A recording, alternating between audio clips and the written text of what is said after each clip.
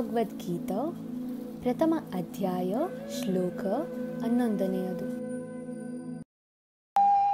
अयनेषु च सर्वेषु यथा भागमवस्थिताः भीष्ममेवाभिरक्षन्तु भवन्तः सर्व एव हि ಸೈನ್ಯ ವ್ಯೂಹವನ್ನು ಪ್ರವೇಶಿಸಲು ಇರುವ ಆಯಾ ಕಟ್ಟಿನ ಬಿಂದುಗಳಲ್ಲಿ ನಿಮ್ಮ ನಿಮ್ಮ ಸ್ಥಳಗಳಲ್ಲಿ ನಿಂತಿರುವ ನೀವು ಈಗ ಪಿತಾಮಹ ಭೀಷ್ಮರಿಗೆ ಸಂಪೂರ್ಣ ಬೆಂಬಲವನ್ನು ನೀಡಬೇಕು. ದುರ್ಯೋಧನನು ಭೀಷ್ಮರ ಸಾಮರ್ಥ್ಯವನ್ನು ಪ್ರಶಂಸಿಸಿದ್ದನಷ್ಟೇ.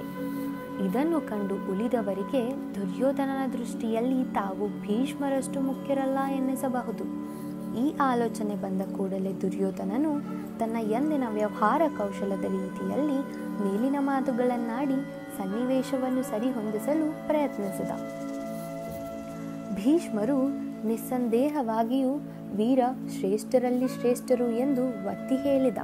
ಆದರೆ ಅವರು ವೃದ್ಧರಾದ್ದರಿಂದ ಎಲ್ಲ ದಿಕ್ಕುಗಳಿಂದ ಅವರನ್ನು ರಕ್ಷಿಸುವ ಯೋಚನೆಯನ್ನು ಎಲ್ಲರೂ ವಿಶೇಷವಾಗಿ ಮಾಡಬೇಕು. ಭೀಷ್ಮರು ಯುದ್ಧದಲ್ಲಿ ತೊಡಗಬಹುದು ಅವರು ಸಂಪೂರ್ಣವಾಗಿ ಒಂದೆಡೆ ಕಾದುವುದರಲ್ಲಿ ಮಗ್ನರಾಗಿರುವುದರ ಲಾಭವನ್ನು ಶತ್ರುಗಳು ಪಡೆದುಕೊಳ್ಳಬಹುದು.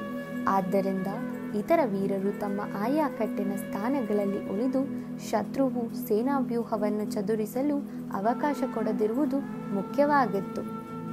ಭೀಷ್ಮರು ಕೌರವರೊಡನೆ ಇದ್ದರೆ ಮಾತ್ರ ಕೌರವರಿಗೆ ವಿಜಯ ಎಂದೇ ಸ್ಪಷ್ಟವಾಗಿ ದುರ್ಯೋಧನನ ಭಾವನೆ. ಭೀಷ್ಮರು ದ್ರೋಣರು ಯುದ್ಧದಲ್ಲಿ ಸಂಪೂರ್ಣವಾಗಿ ತನ್ನನ್ನು ಬೆಂಬಲಿಸುತ್ತಾರೆ ಎಂಬ ವಿಶ್ವಾಸವೂ ಅವನಿಗಿತ್ತು.